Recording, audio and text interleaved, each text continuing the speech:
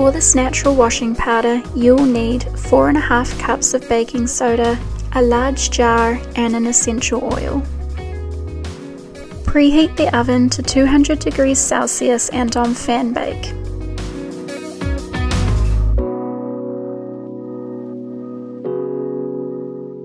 And set the timer for one hour.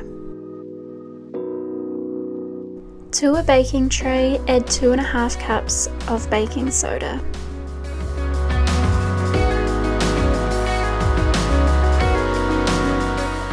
Spread it out and put it in the oven.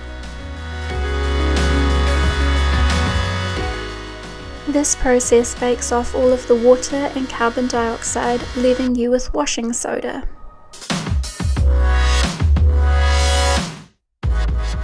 Once the hour is up, remove from the oven and allow to cool.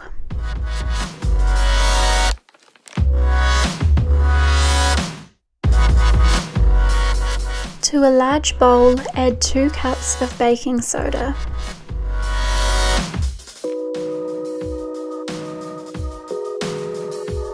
and two and a half cups of the washing soda.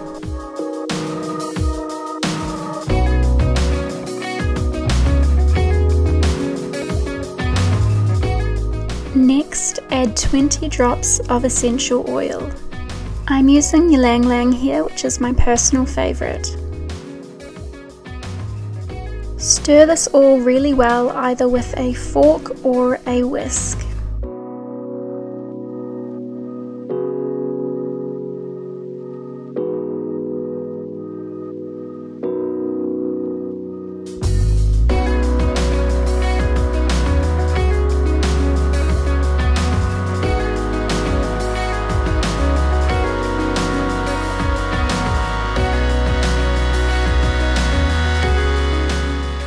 Fill your jar with the washing powder and there you have it, adding a quarter of a cup to each load.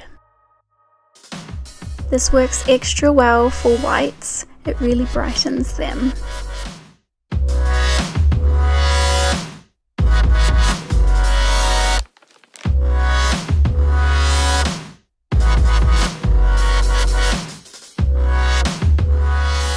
I hope you enjoyed this tutorial and please don't hesitate to let me know what essential oil you use in the comments below.